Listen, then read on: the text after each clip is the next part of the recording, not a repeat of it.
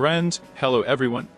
There was excellent news from the Donetsk direction, namely, the fighters of the Shadow unit recorded the moment on video when a Ukrainian AFPD kamikaze drone attacked a Russian buggy, which was first in motion along with personnel, and then stopped to unload provisions and ammunition in the vicinity of Avdiivka. Before you watch this news, subscribe to the channel, click on the bell and write any comment to get more views for this video. It is reported that when the Russian buggy stopped to unload, creating the illusion of safety, the Ukrainian operators quickly and accurately resolved the situation. Perhaps they were using an ambush scheme or simply waiting patiently for the right moment to attack.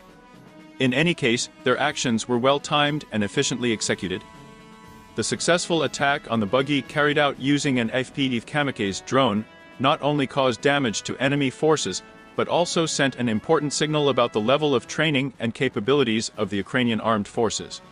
The use of advanced technologies and tactics allows them to effectively counter aggressive enemy actions and defend their territory.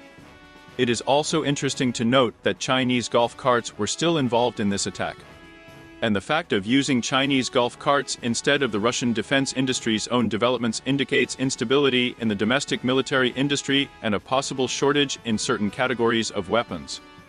This may be due to both economic reasons and technological limitations. And what do you think about it? Write your opinion in the comments under this video, give a like, subscribe to the channel to keep up with the latest news.